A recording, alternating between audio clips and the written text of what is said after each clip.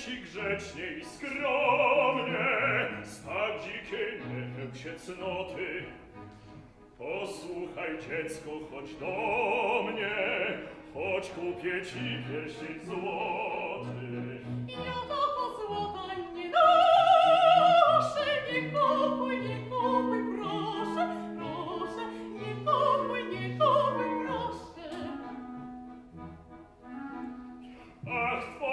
Дочка на злото, ja tylko dla ciebie żyję. Posłuchaj proszę cię o to, kupię ci perę na szyję.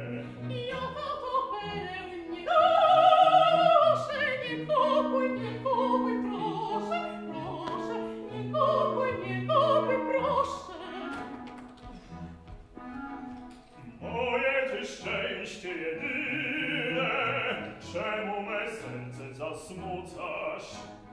Wyjaw mi proszę przyczynę, dla której dalej odrzucasz.